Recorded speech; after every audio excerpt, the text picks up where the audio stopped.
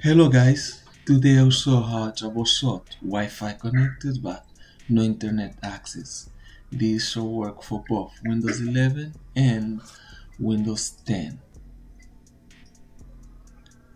Go to search bar and look up for view network connections.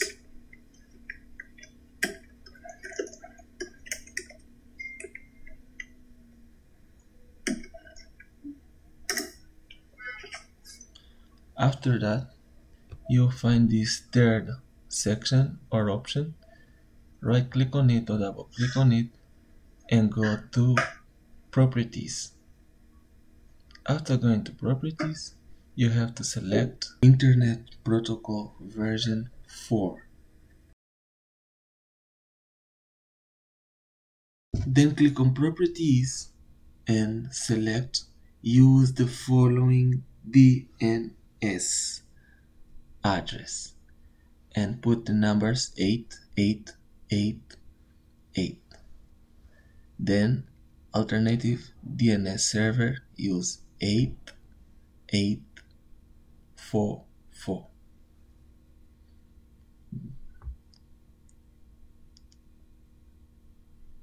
This should fix your problem. Click on OK and your problem will be fixed. Let me just go to Google and search for anything. It's still unresponsive as you guys can see. Then let's just go to another method. Open Windows and search for run.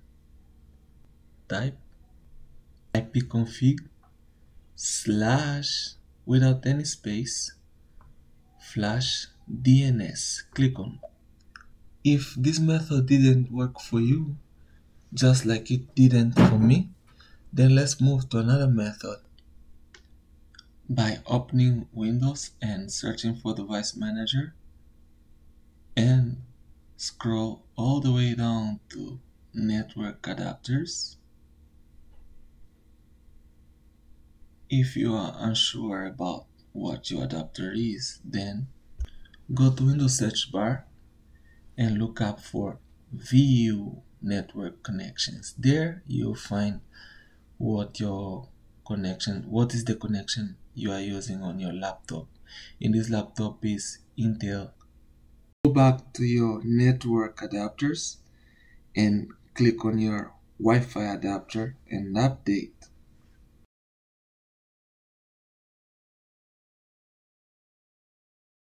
As you guys can see, my device and adapters are up to date, but the problem was not solved. So what should I do now?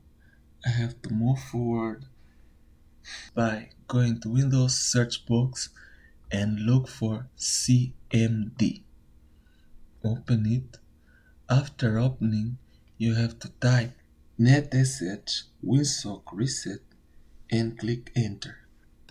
Then just perform the same operation again.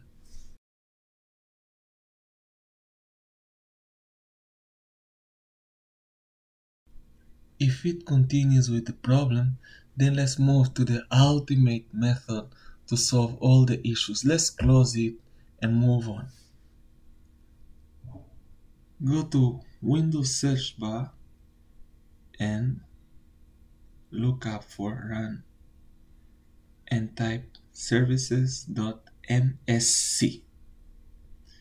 Click and scroll down till you find Wi-Fi Director Services Connection.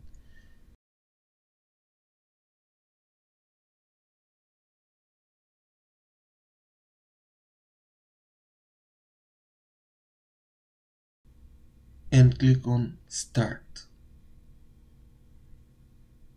Close.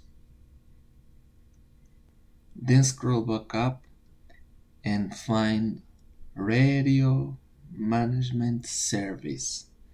Click Start if it's not started or if it's not running. Now continue scrolling up and activate the option Network Connections. you have to make sure it's running. Now just close it. It's now time to call Task Manager. So type Task Manager on Windows search bar and execute or run a new task. Click on Browse and find on Windows C the folder named System32. Once you find CMD or CMD exe, click on Open and create this task. Check or tick on it and click on OK. You are good to go. Then here you should execute some few comments. The first comment will be net sh winsock reset and click on enter.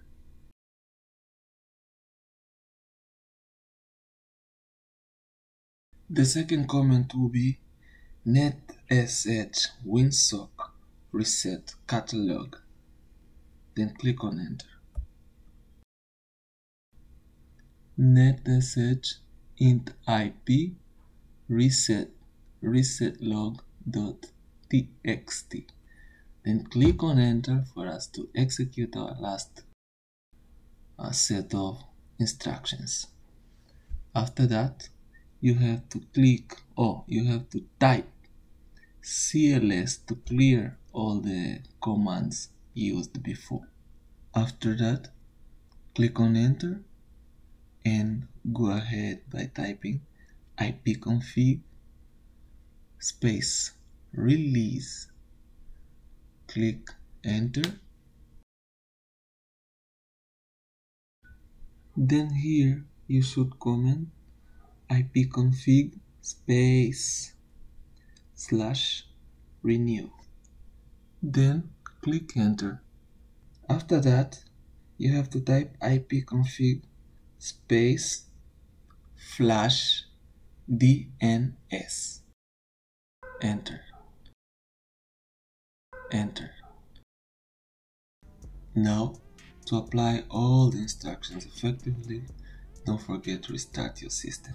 I hope it really was helpful. See you in the next one.